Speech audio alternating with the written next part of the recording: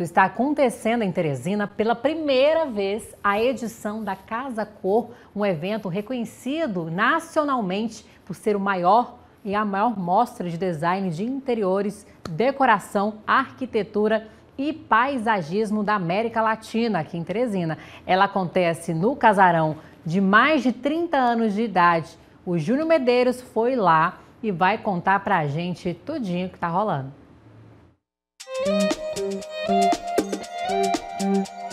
Uma casa projetada pelo arquiteto Gustavo Almeida há 32 anos. Este foi o cenário escolhido para receber a mostra que promete levar o melhor da arquitetura, design e arte local para o evento. Este ano, a Casa Cor chega ao Piauí para a primeira edição. O imóvel fica localizado em Teresina numa área de 7.500 metros quadrados. Logo na chegada, o ambiente é bem convidativo. A conexão com a natureza e o regionalismo se manifesta através de peças de artes. O Jardim Piscina Boqueirão representa a essência e a ancestralidade com o design curvo, esculpido e moldado pela água e pelo vento, assim como as formações rochosas da Serra da Capivara, que conecta passado, presente e futuro.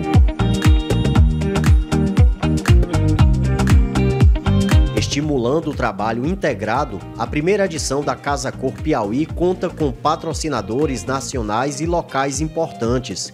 Ainda no coração do ambiente, o Sebrae destaca a força do artesanato piauiense, valorizando a cadeia produtiva e mostrando como a união artesanal e o contemporâneo pode ser perfeita. Com o intuito de proporcionar aos visitantes uma experiência agradável, a Casa Cor Piauí conta com 34 projetos assinados por 53 profissionais, em um ambiente aconchegante e de bom gosto. Suíte do ciclista, por exemplo, com seus 32 metros quadrados, é um espaço que captura a essência dinâmica e vibrante de um jovem entusiasta do ciclismo. A Vânia explica a inspiração do espaço. Aqui eu fiz para surpreender os visitantes da Casa Cor.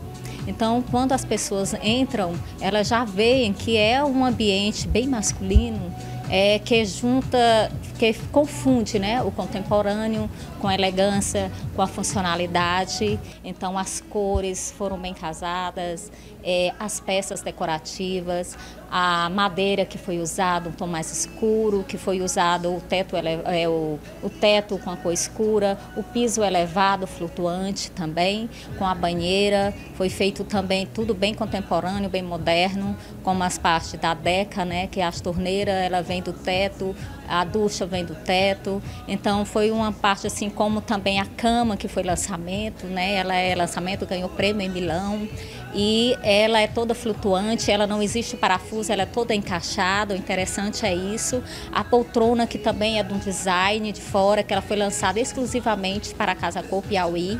O tapete que foi desenhado para o meu escritório, então eu escolhi todas as cores e a loja fez exatamente como ficou no projeto. Então teve muito vidro, muitas cores e muito esportes. Então os ciclistas quando entram aqui se identificam totalmente com o espaço. Outro cenário que cumpre sua função primária e explora novos usos, novas configurações e uma confluência de arte piauiense, tecnologia, linhas orgânicas e texturas de efeito está na cozinha projetada pela Renata. A cozinha ela foi pensada para a gente rever as novas dinâmicas de estar e receber. Então a gente traz uma nova configuração, que é uma configuração que tem a ilha como protagonista e ela traz também um conceito rústico com o contemporâneo. Então a gente trabalha elementos é, como a pedra, temos os elementos rústicos das texturas e além das cores, a gente traz as cores nos itens que são é, de artistas piauienses. Eu quis muito valorizar a nossa arte, o que é feito no Piauí,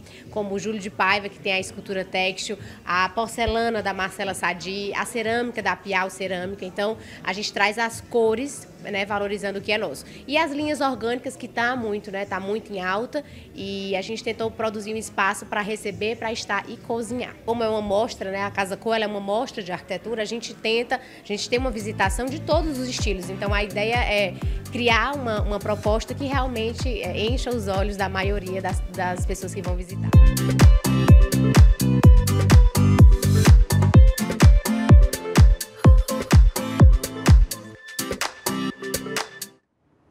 Que maravilha, né? Muito obrigada, Júnior. Um evento muito importante para o estado do Piauí, né? Um evento importantíssimo para a arquitetura, vale muito a pena.